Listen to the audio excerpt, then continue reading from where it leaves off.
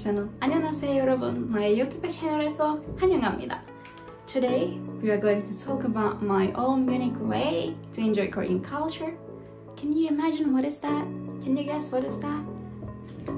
Uh, I will show you in the video but you should keep watching if you want to learn about that So uh, everyone has their own unique way to enjoy Korean culture or entertain themselves and as you know, some people like watching K-dramas. I also enjoy them. And some people enjoy listening to K-pop songs, uh, boy bands or girl bands like BTS, Twice, and I'm an ARMY too. if you watch my previous videos, uh, you can also hear my story about my uh, journey with Korean culture and I actually explained it was because of BTS at some point. So let's keep going. And uh, some people also shoot dance cover videos for K-pop songs. They attend to K-pop World Festival. Uh, they attend different competitions related to K-pop as well.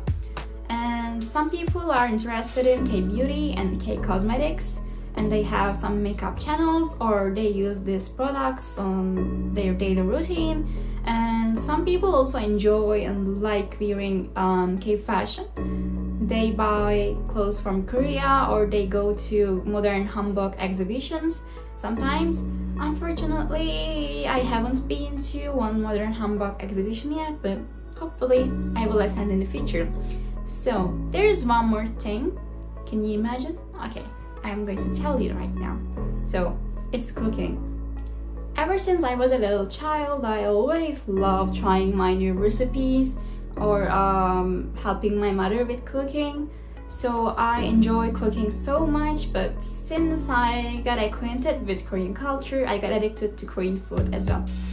Unfortunately, in my country, it's not really easy to find all the products and ingredients to use in Korean food.